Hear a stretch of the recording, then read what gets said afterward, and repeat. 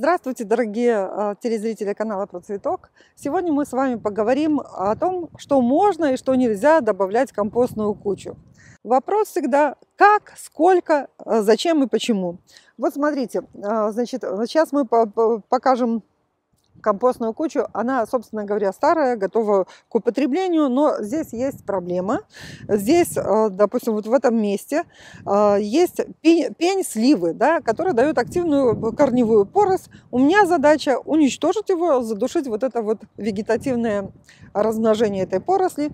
И поэтому эту кучу я убирать отсюда не буду. И наоборот, я пристроила пень где-то вот в этом районе находится. Сбоку вот я сделала уже в начале даже не в начале весны, в конце зимы, вы видите вот обрезанные ветки. Когда-то в предыдущем ролике я показывала, что на низ кучи вы всегда кладете дренажный слой, да, то, то есть, чтобы куча ваша хорошо проветривалась. Еще вот часто говорят, что нельзя добавлять картофеля, но всегда включайте голову и думайте о том, можно добавлять. Вопрос как? Если вы не хотите, чтобы картофель пророс, вот смотрите, у меня был мелкий картофель, вот я его сварила, собственно говоря. И вот я бросила это тоже на компостную кучу. Э, всегда нужно понимать, что ваша куча должна хорошо проветриваться. Да? Если у вас дренажный слой есть, если у вас есть вот такая вот солома, она впитывает влагу, Куча ваша не должна быть мокрой, она должна быть увлажненной. Ну вот сейчас у нас проходили осадки, куча была открыта, зимой она была закрыта, сейчас э, линолеум, который закрывал ее, понадобился для других целей. Э, ваша куча не должна гнить. Э, у вас э, должна вот вся, все органические остатки, они должны быть во влажном, в увлажненном, даже правильнее сказать, состоянии. И тогда она не будет ни неприятно пахнуть. У меня куча никогда не издают никакого запаха. Э, Все нормально. Э, главное, чтобы здесь хороший воздушный дренаж был и хороший впитывающий слой. И вот здесь, допустим, вот у нас с дренажным слоем все в порядке. Да, вот я э, принесла очередную партию жидких отходов. Сейчас я их добавлю и сверху опять расположу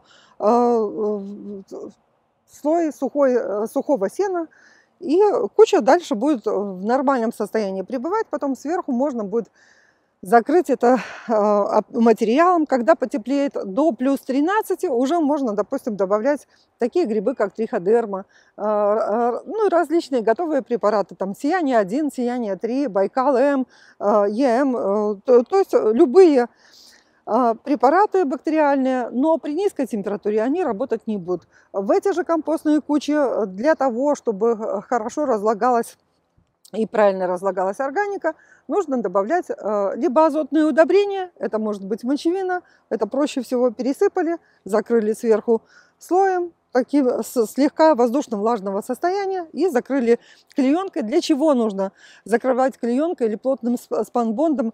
Для того, чтобы не в виде аммиака не терялся азот, да, то, то есть чтобы не было вот этих азотных выделений, а, но чтобы не было, чтобы не было выделения аммиака, для этого не нужно мокрое ничего класть, все должно быть подвявшее. Ну вот на этом у нас все. А, значит, мы а, разобрались, что можно, что нельзя. На мое усмотрение вы можете в компост нельзя добавлять только пластик, то есть то, что не гниет, то, что не органического происхождения. Вы можете сюда добавлять, э, допустим, э, хбшную одежду, которая износилась, э, льняную одежду, то есть вискозное, все, что натуральные волокна, это все в компостную кучу годится. Вот по поводу шерсти, ну, как бы бабушка надвое сказала, она немножко разлагается длиннее, но тоже разлагается. Но я лично шерсть все-таки предпочитаю сжигать на костре, Поэтому вот таким вот образом. А так, на мое усмотрение, все э, органические отходы можно ложить в кучу, но только нужно знать как. Главное, чтобы не было гниения, главное, чтобы было, были процессы брожения и минерализации. Вот на этом у нас все сегодня. А, до свидания, до следующих встреч. Подписывайтесь на наш канал, смотрите ролики, пишите отзывы. С вами была Тамара Ляпцева. thank you